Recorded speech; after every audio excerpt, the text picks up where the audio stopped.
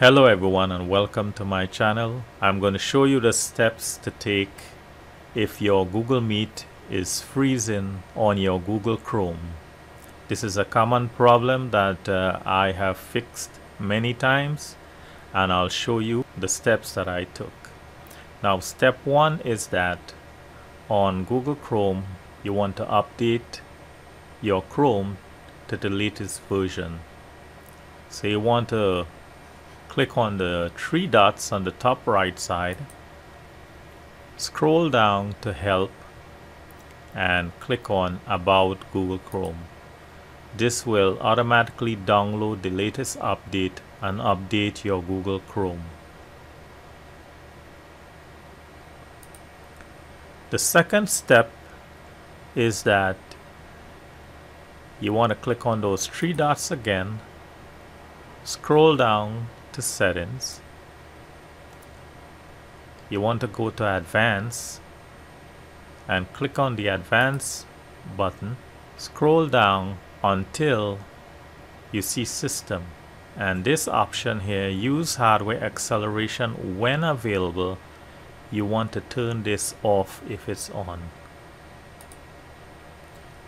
And you want to click on relaunch and this is one of the most common problems that when you turn this off it fixes the freezing of the Google Meet in Chrome.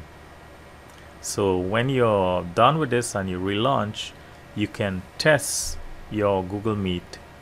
Now another option you want to check is that you want to make sure that you don't have unnecessary extensions on your Google Chrome these extensions which are unnecessary can slow down your Google Chrome and affect Google Meet.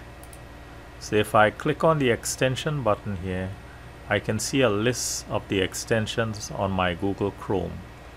And I can click manage extensions to see all of them here on a page. Now you have to choose which one you don't need by removing them.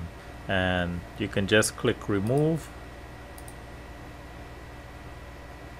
Also, you would want to reset your Google Chrome browser. On the right side, click on the three dots, go to settings. You want to scroll down to advanced, click advanced. And under reset and cleanup, you want to click on restore settings to the original defaults and click on reset settings this will clear up a lot of stuff on your Chrome browser. It will delete all the extensions any kind of cookies or temporary data. So I'm gonna click reset settings. And the last option that you will want to do you want to clear like any extra data like cached data. So you want to click on the three dot. Go to settings under privacy and security you want to click on clear browsing data. Now you want to read this. You want to click on advanced and on time range you want to select all time and click on clear data. So I hope this video was helpful to you and I thank you for watching. I ask you to subscribe hit that like button make a comment